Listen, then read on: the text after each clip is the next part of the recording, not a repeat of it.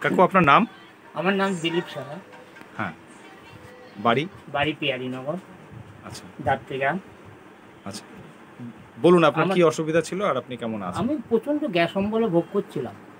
এই গ্যাস অম্বলের জন্য আমি অনেক কিছু খেয়েছি অনেক কিছু অনেক ডাক্তার দেখিয়েছি তাতে আমার কোনো কাজ হয়নি। একদিন তপনদার সঙ্গে হঠাৎ এই প্রোটেক্টটা নিয়ে একটা কথা হলো। কথা হওয়ার পরে তপনদা বলল যে আমি এই প্রোডাক্টটা এনে দিচ্ছি, এটা খেয়ে দেখুন কীরকম থাকে। একদিন তপনদা হঠাৎ প্রোডাক্টটা এনে দিল। এনে দেওয়ার পর আমি খেলাম। আর দশ থেকে বারো, তেরো দিন হয়তো হবে ওষুধটা খাচ্ছি। প্রোডাক্টটা খেয়ে এখন বর্তমানে যা বুঝতে পারছি আমি, তাতে খুবই ভালো। হান্ড্রেড পার্সেন্ট একশো মধ্যে একশো পার্সেন্টই ভালো। কি কি অসুবিধা আগে ভোগ করতেন। আগেও আমার গ্যাস হতো অম্বল হতো যা খেতাম একখানা বিস্কুট যদি আমি খেতাম একখানা বিস্কুট খেলেও আমার জন্য সেই গলার মুখের ভিতরে টক হয়ে থাকতো। কিন্তু এখন এই ওষুধটা খাওয়ার পরে প্রোডাক্টটা খাওয়ার পরে সেই সেইটা আর নেই। হ্যাঁ খুব কম।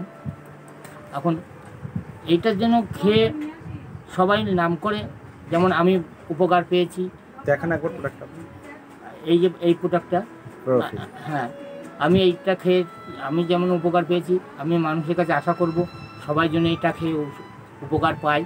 আর এটা যেন মনে রাখার মতো জিনিস, যে এতটাই মানে জিনিস যে যে না খেয়েছে সে বুঝতে পারবে না যে এটার কি গুণ আছে, কি কাজ আছে।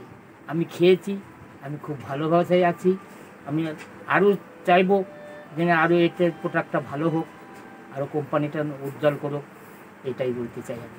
অসংখ্য ধন্যবাদ আপনাকে অসংখ্য ধন্যবাদ।